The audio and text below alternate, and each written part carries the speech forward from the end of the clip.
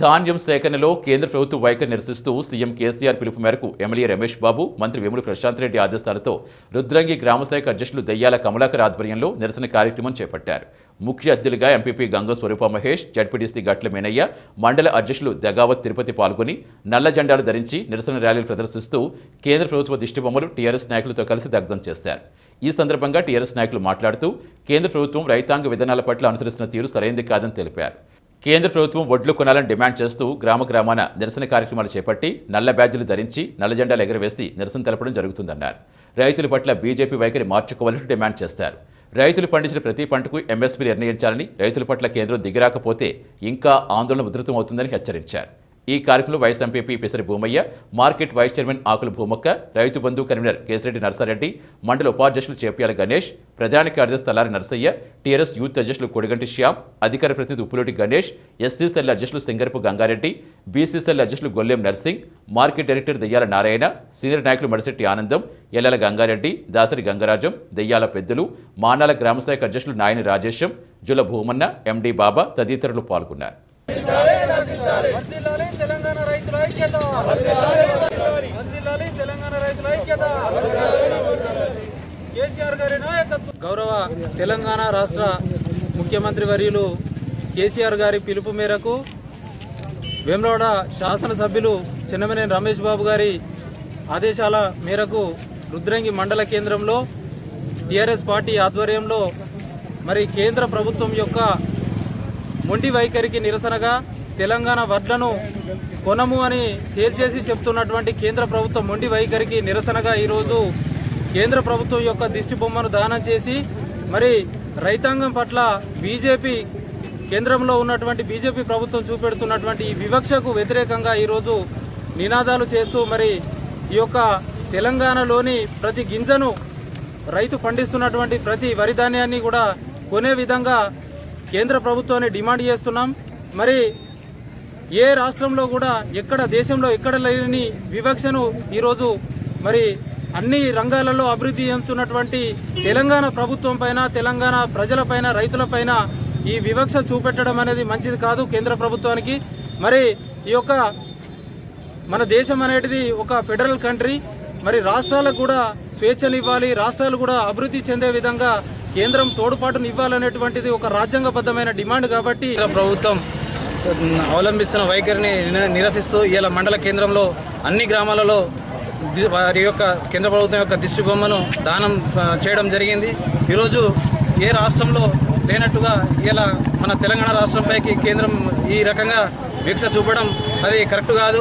ఎందుకంటే గౌరవ ముఖ్యమంత్రి వర్యులు ఇలా దేశంలో ఎక్కడ లేనటువంటి అతిపెద్ద ప్రాజెక్టు కాళేశ్వరం ప్రాజెక్టు కట్టి ఇలా ఎల్లంపల్లి నుంచి మన రుద్రంగి మండల కేంద్రానికి నీరు తెచ్చి ఇలా రైతులు కళకళలాడుతున్నారు. ఇలా తెల కేసీఆర్ మన గవర్నమెంట్ యొక్క ముఖ్య ఉద్దేశం ఒకటే తెలంగాణను కోటి ఎకరాల మాగాణి చేయాలన్న ఉద్దేశంతో కేసీఆర్ గారు ఉంటే ఈరోజు రైతులకు మరియు రైతులు సంతోషంగా ఉన్నారని ఈరోజు రైతులకు మరియు ప్రభుత్వానికి మధ్య విభేదాలు సృష్టించి రాజకీయంగా ఇలాను ఇలా రైతులను ఇబ్బంది పెట్టే ఈ పరిస్థితి ఇలా కేంద్ర ప్రభుత్వం అవలంబిస్తుంది కాబట్టి ఈరోజు రైతులు పెద్ద ఎత్తున రైతులు మరియు టీఆర్ఎస్ పార్టీ తరఫున మేము కేంద్ర గవర్నమెంట్ను హెచ్చరిస్తున్నాం.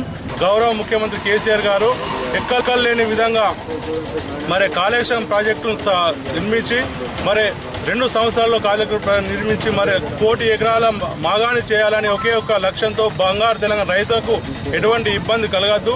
నీటితో పాటు ఇటు పెట్టుబడి సాయం కానీ రైతులకు రైతు చనిపోతే రైతు బీమా కానీ ఎక్కడ లేని విధంగా రైతుల పక్షాన ఉండి కొట్లాడుతూ ఉండే కేంద్ర ప్రభుత్వం ఒక వివక్ష చూపుతా ఉంది. మరి టీఆర్ఎస్ పార్టీని అక్కడ ఎట్లనైనా మరి రైతు వ్యతిరేకంగా తీర్చిదిద్దాలనే ఒకే ఒక ఉద్దేశంతో మరి చూస్తూ ఉంది. కనుక దయచేసి రైతులందరూ కూడా గమనిస్తూ ఉన్నారు.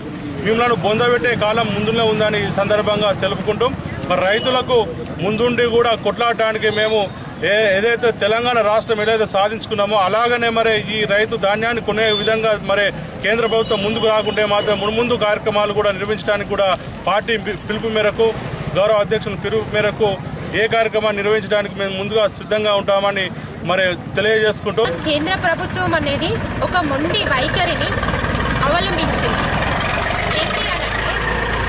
ఒక రాష్ట్రం పైన ఇష్టం చూపుతుంది ఒక రాష్ట్రం పైన వివక్ష చూపుతుంది. పంజాబ్లో వడ్లు ఉన్నాయి. అక్కడ వడ్లు మాత్రం కొంటున్నారు. మరి తెలంగాణలో ఎందుకు కొనట్లేదు? ఇదివరకు పెట్రోల్ ధరలు తగ్గి ఫుల్గా పెంచేశారు. నలభై యాభై రూపాయలు పెంచి దీపావళి కానుకంట పది రూపాయలు తగ్గిస్తే మిగతా ముప్పై రూపాయలు ఎందుకు పెరిగినాయి? మీరు అంటారు ఇక్కడ ట్యాక్స్ వ్యాక్స్ ట్యాక్స్ వస్తుంది ఆ ట్యాక్స్ వేస్తున్నారు అని చెప్పేసి. అలాంటప్పుడు మరి వేరే స్టేట్స్లో అన్ని స్టేట్స్లో మీ బీజేపీ పాలిత ప్రాంతాలలో ఎందుకు మరి తగ్గించలేరు? మీరు ఏదో ఒక రకంగా ఏ ట్యాక్సీని పెంచుతూ తెలంగాణ రాష్ట్రాన్ని ఇబ్బందుల పాలు చేసినట్లయితే బాగుంటుందనేటువంటి ఒక ఉద్దేశంతో ఉన్నారు. కానీ తెలంగాణ రాష్ట్రం సిద్ధించుకోవడానికి సంవత్సరాల తరబడి పోరాటం చేసినటువంటి నాయకుల వెనుక మేమున్నాము రైతులు ఉన్నారు అందరూ ఉన్నారు. మీరు అనవసరమైనటువంటి ఆరోపణలు చేస్తూ అభివృద్ధిని అడ్డుకునే విధంగా చూస్తే మాత్రం మేమెవ్వరం కూడా ఒప్పుకోం.